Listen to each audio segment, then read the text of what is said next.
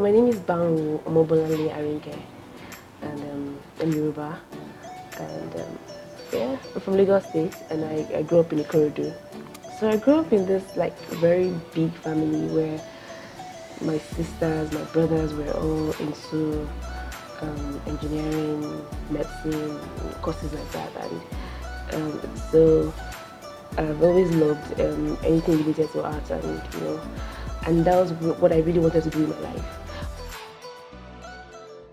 My, my dream was actually to study art, like go to this very amazing art school and you know do great things in life. But then I was faced with, okay, how do I tell my family that um, how do I tell my family to sponsor me to go study art somewhere when my mates are studying maybe medicine, engineering, you know, this is Nigeria. We, we want, parents want their children to do courses that would later, you know, sustain them, or something like that. So that was what I was faced with. So I decided to go with the crowd. So I studied mass comm. And trust me, it was it was not funny at all because I was doing something I was not completely in love with. I was just doing it to you know to fulfill all righteousness, just to play along. Order to um, express my creative side, I would draw on the school um, notice board. I would hide somewhere. I was like those so secret artists who draw overnight and paste it um, on, on, the school notice board and then run away and things like that. So people kind of started noticing my talent. Um, TFDM means um, the female design. It stands for the Female Designer Movement, and uh, it is an initiative I created to help women design, to introduce them to the world of design and show them the possibilities, the endless possibilities actually. Early last year, I planned to like gather, let's say 15 women together, you know, train them in my, maybe my living room and then see how I can encourage them and mentor them to design. But then I, I put out this form, this Google form, and we had like more than 200 women register. And I'm like, okay, now this is the real deal. Like I need to do something about this.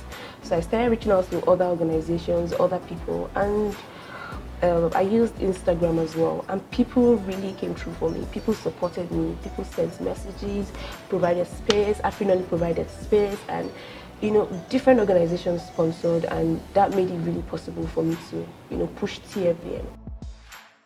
Over time, I faced like a couple of challenges, but the good thing is I've been able to like overcome overcome many of them. And so one of the challenges I faced over, over time, over the years, was that um, getting people together and then helping them, helping them continue basically. So they come to learn and then after then they don't have that drive, they're not really driven to continue, they're not really, the passion reduces and so I, I've been thinking about it and my plan is actually to see how I can sustain that. I can I can sustain them basically, or I can help them sustain what they already have. So after learning to design, how can they continue? So I created this solution. So I, I, I, I found out that if I put them in places where they can work, that solves the problem. So now uh, it's not just going to be training alone anymore. So we're going to have different organizations come for the events as well and employ some of these girls.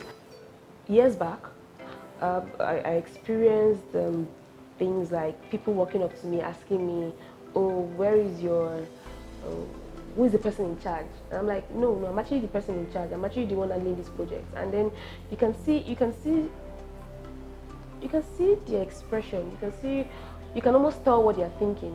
You know, they don't really have that confidence in you because they think, oh, you're just a young girl. What can you possibly do? But then, like I said before, you don't have to argue with anyone. You don't have to prove any point. The, you, the only point you have to prove is through your works. If your works are quality, if your designs are exceptional, if they see that what you are creating is something that you cannot get anywhere else, they would have to respect you. And that is the only way to gain people's respect. By being the best, by doing by doing doing very good works basically.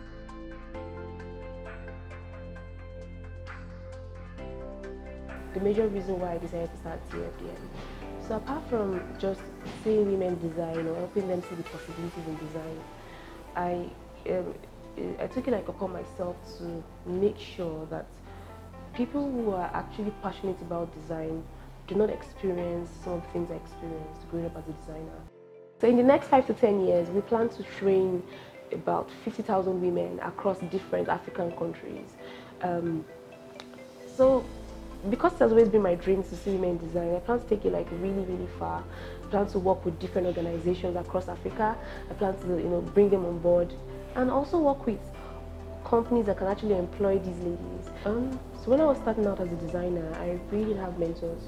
Um, like I said, I didn't have people I could like go to discuss one-on-one, -on -one, but I had designers I kind of looked up to. I had designers that inspire me. And so I decided to like um, look at their works and try to understand their thought process. So they were kind of mentoring me, but they didn't even know me. you get.